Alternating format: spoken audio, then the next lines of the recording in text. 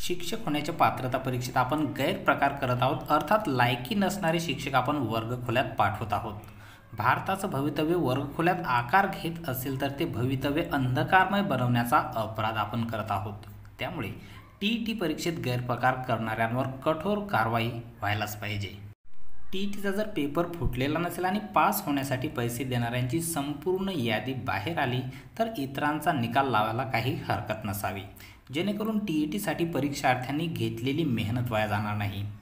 T E टीच्या अंतरिम उत्तर तालिकेवरील आक्षेपांची पडताळणी करण्यासाठी कार्यशाळा आयोजित करण्यात आली होती. सदर कार्यशाळेत एक ते दोन प्रश्न रद्द होण्याची शक्यता वर्तविण्यात आली आहे.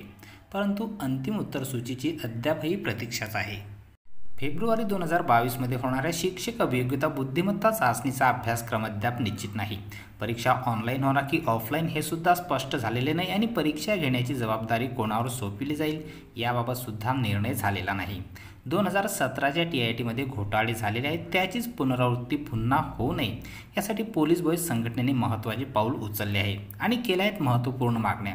कोणत्या आहेत मागण्या घेऊया पोलीस बॉईज संघटनेने दिलेल्या निवेदनातून जाणून.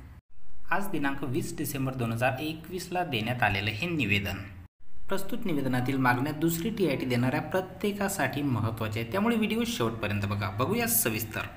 प्रति शिक्षण मंत्री वर्षाताई गायकवाड शालेय शिक्षण विभाग महाराष्ट्र राज्य मार्फत जिल्हाधिकारी कार्यालय नांदेड ज्याचा विषय आहे दुसरी अभियोग्यता परीक्षा अभ्यासक्रम आणि कार्यपद्धती जाहीर करण्याबाबत. महोदय वरील विषयावरून आपणास नम्र विनंती करतो की आज जी महाराष्ट्रात स्पर्धा परीक्षा आणि नोकर भरतीत भ्रष्टाचारी मानसिकता निर्माण झाली आहे त्यामुळे स्पर्धा परीक्षा उमेदवार कमालीचे निराश झालेले आहेत.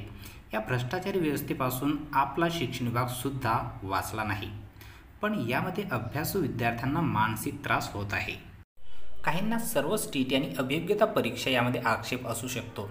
दोन हजार तेरापासून टी टीमध्ये गैरप्रकार झाला असेल तर ही खूप गंभीर बाब आहे. काही टी टी प्रमाणपत्र बनावट असल्याची पण आढळलेली आहेत.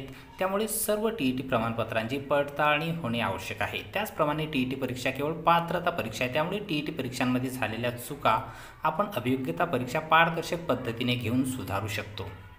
पण मागील अभियोग्यता परीक्षेमध्ये अर्थातच डिसेंबर दोन हजार सतरामध्ये झालेल्या परीक्षेमध्ये परीक्षा झाल्यानंतर ताबडतोब संगणकावर दृश्य मार्क्स आणि यादी यामध्ये बरीच तफावत आढळली. त्यामुळे दोन हजार सतराच्या अभियोग्यता परीक्षेचे गुण संशयास्पद आहेत. परंतु विद्यार्थ्यांना निकाल पद्धतशीरपणे मिळाला नाही. त्यामुळे त्यावर आक्षेप घेता आला नाही. मागील शिक्षक भरतीसुद्धा गैरप्रकार झाल्याचे नाकारता येत नाही. कदाचित तसे असेल तर कित्येक अपात्र उमेदवार सुद्धा सध्या सेवेत असतील. त्यामुळे आगामी अभियोग्यता परीक्षांमध्ये निकाल पारदर्शक लावावा. परीक्षा ऑनलाईन असेल तर एम एस सी आय टीप्रमाणे परीक्षा झाल्यानंतर लगेच निकालाची प्रिंट द्यावी. त्याचबरोबर टी ई टी आणि टी आय टी गुन्ह्यात गैरव्यवहार झाला असेल तर याचीसुद्धा योग्य पडताळणी करून जे काही भ्रष्ट अधिकारी आणि भ्रष्ट विद्यार्थी असतील त्यांच्यावर कायदेशीर योग्य ती कारवाई करावी. त्यामुळे सर्वच विद्यार्थ्यांचा मानसिक व भावनिक छळ नको. आगामी अभियोग्यता परीक्षा ठराविक वेळापत्रकानुसार व्हावी व परीक्षेचे नोटिफिकेशन आणि अभ्यासक्रम तातडीने जाहीर करावा ही नम्र विनंती. कारण मागील पाच वर्षांपासून ही परीक्षा प्रलंबित आहे त्यामुळे जे काही बदल असतील ते जाहीर करावेत. म्हणजे सर्व विद्यार्थ्यांना सकारात्मक प्रेरणा मिळेल आणि अभ्यासाला सुद्धा चालना मिळेल. पोलीस बॉईज संघटना विद्यार्थी आघाडीचे राज्य सचिव नवनाथ साखरेसर यांच्या स्वाक्षरीनिशी देण्यात आलेलं आहे निवेदन.